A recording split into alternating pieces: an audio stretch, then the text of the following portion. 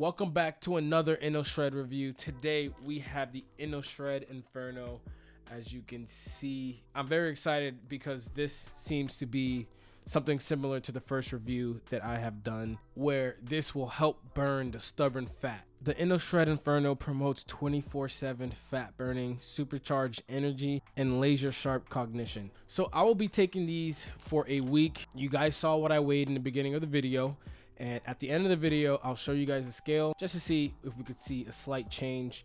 There may not be a huge difference, but I guarantee you there will be some difference because a week is more than enough time to have some progress. With the InnoShred Inferno, you're supposed to take one serving, which is two capsules, one to two times daily for the best results. For the best results, you're supposed to take it 30 to 60 minutes before meals or exercise. So I am gonna work out in about 30 minutes. So we're gonna go ahead and take two capsules right now.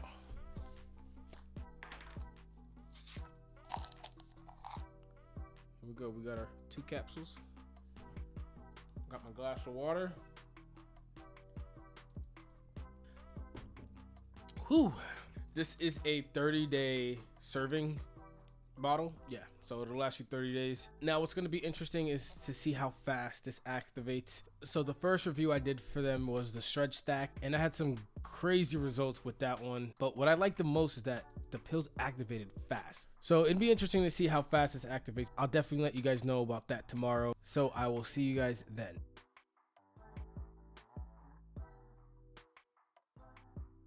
So it is now review time. I'm gonna tell you guys my honest opinion and my experience with the InnoShred Inferno. And honestly, if you do not plan on eating healthy, don't expect to see crazy results, at least on the scale. Now, I say that because the Inferno did a great job helping me debloat from all the Thanksgiving food.